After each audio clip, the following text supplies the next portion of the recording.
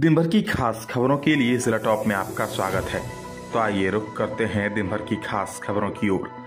पहली खबर में आपको बता दें कि 1932 और 27 प्रतिशत आरक्षण को लेकर विधानसभा में पारित होने के बाद आज गोडा कारगिल चौक पर कांग्रेसियों ने पटाखे फोड़े और खुशियाँ मनाई।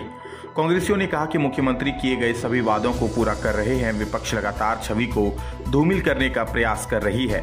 पर सरकार रुकने वाली नहीं है, ओबीसी को मिले आरक्षण के बाद निश्चित रूप से राज्य में ओबीसी वर्ग को फ़ायदा मिलेगा।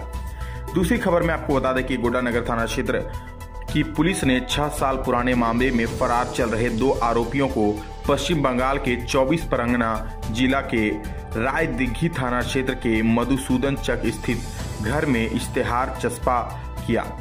इसके साथ ही कहा गया कि अगर आरोपी 15 दिसंबर को सरेंडर नहीं करता है तो कुर की जब्ती की प्रक्रिया की जाएगी। दोनों आरोपी मंजीत परुवार व कोकिला परुवार अन्य लोगों के साथ मिलकर गोड्डा की चीट फंड कंपनी चलाते थे, जहाँ इन लोगों ने अपने सहयोगी के साथ मिलकर लोगों के जमा पैसे को लेकर फरार हो गए थे।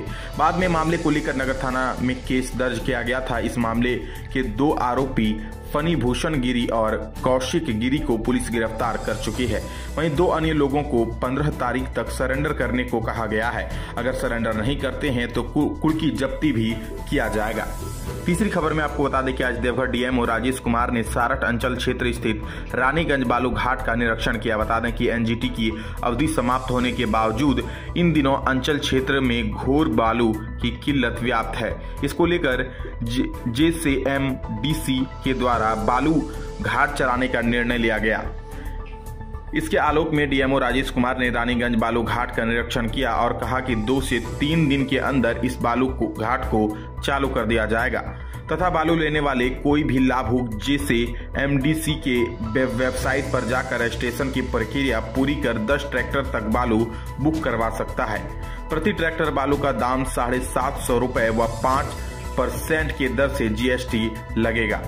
अगली खबर में आपको बता दें कि बोकारो जिला ग्राम सभा के द्वारा आज बोकारो उपायुक्त कार्यालय के सामने प्रदर्शन किया गया, जहाँ हज़ारों की संख्या में पहुँचे 130 ग्राम सभा के लोगों ने पारंपरिक हरवे हथियार और ढोल नगाड़े के साथ धनबाद बोकारो के जोड़ने वाले मुख्य सड़क एमडी बंगला के सामने सड़क को जाम कर दिया। करीब एक घंटे तक सड़क पूरी तरह से जाम रहा, जहाँ स्थानीय पुलिस के मदद से जाम को हटाया गया। मौके पर सिटी थाना सिटी डीएसपी सहित ट्रैफ़िक डीएसपी भी मौजूद थे।